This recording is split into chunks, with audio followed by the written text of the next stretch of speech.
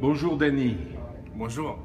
Alors Denis, tu es le chef propriétaire de IDA. IDA, tout qui se trouve 117 euh, rue Rue de Vaugirard. à Paris, près de l'hôpital Necker.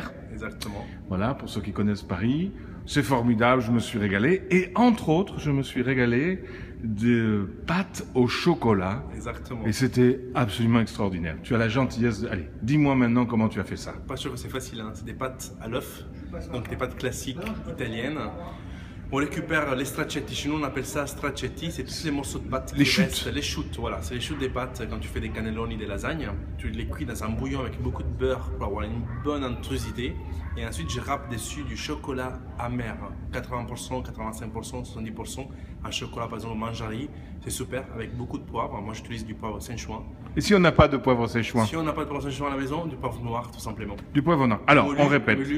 Les chutes des pâtes qu'on avait des cannelloni, des lasagnes, Exactement. On les fait cuire dans un bon bouillon à Avec- bien bien beurré. Exactement. Faut c'est pas ça. hésiter sur le beurre, Ah, hein. faut pas faut que ce soit onctueux. Exactement, c'est ça. Ensuite, on les réserve et dessus on râpe Et on râpe du chocolat Noir, amer. Noir, amer, tout à fait. 80, 85, euh, 70%, voilà. 85. Faut aller 85, 85. voilà, il faut, il faut, il faut se faire violence parce que là, ça va équilibrer l'ontusité du beurre avec cette acidité amertume du chocolat. Et c'est fabuleux. Et je te remercie. Merci Vraiment, tu es un, un très beau chef. Magnifique. Ah, merci.